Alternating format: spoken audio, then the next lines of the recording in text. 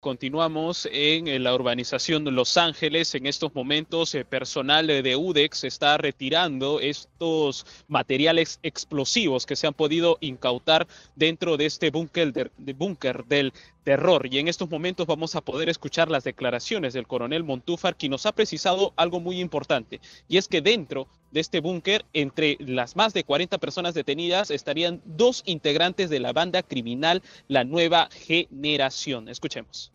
Fíjense ustedes, hemos hallado armas de guerra, hemos hallado una granada de guerra, hemos hallado dinamita, dinamita en este local. Hemos hallado muy aparte y lo más delicado, nueve menores de edad nueve menores de edad que estaban tomando y haciendo el desbarajuste acá. Hemos encontrado 12 personas extranjeras, adultas, mujeres, dentro de ellas una peruana y 24 personas varones, dentro de los 24, dos peruanos. Por lo que se conoce ya, conociendo las labores de inteligencia, conociendo y mimetizándose al ingresar, ellos obviamente conocen un amplio, más amplio de toda la, la, concertación de actividades criminales. Y es así que hemos conocido que aparentemente existirían dos integrantes de esta banda criminal, esta organización criminal, la nueva generación, que estamos ahorita todavía en ese desarrollo de conocer aún más en base a la extracción de la data que podamos tener de sus celulares.